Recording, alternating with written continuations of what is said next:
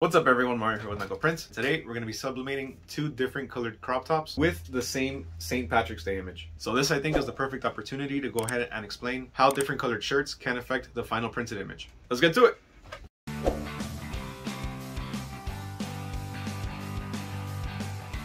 So I already have two of my images printed already. And just so everyone knows, this was printed using a Sawgrass SG1000 using the Sublijet ink. The paper I'm using is my own brand paper, Neko Prints paper. And if you want to check out any of the supplies that I use in this video, just check the description below and I'll have the links to everything there. Now, full disclaimer, some of those are affiliate links. So if you click them and you buy something, I'll get a small percentage of that sale. That being said, you don't have to use any of the links. You can just use whatever you have and what you like to use. So I have the heat press set at 400 degrees and we're going to press the shirts for 45 seconds.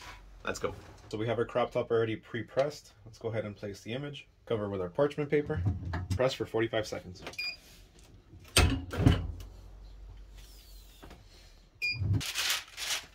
Sometimes you get the little press marks around. These are little hard lines that appear because of the paper. An easy way to get it off is just rub the shirt, give it a little shake, and they're gone. Now let's go ahead and pre-press our green crop top. Let's go ahead and center our image once again. Cover it with our parchment paper.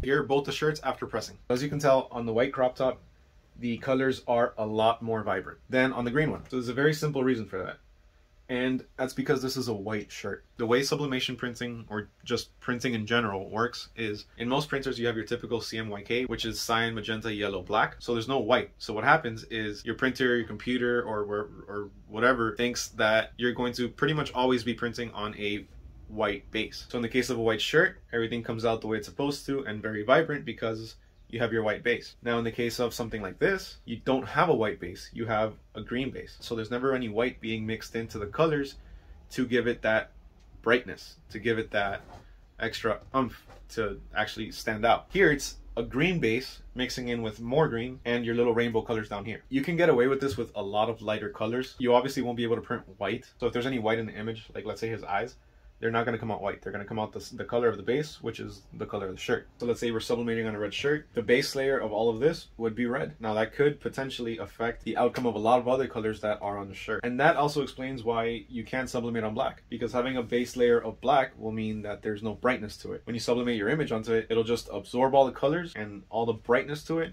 and it just won't show anything. You might be able to see the image if you look close enough, but it'll be extremely dark. Definitely won't look good. So that's pretty much it. This was a fairly quick video. I just wanted to compare what sublimating on two different colors would look like using the same image. Thank you so much for being here and thanks for watching. Make sure to leave a like on the video and if you found it helpful, help me out a little bit and hit that subscribe button. I'll see you guys next time. Peace.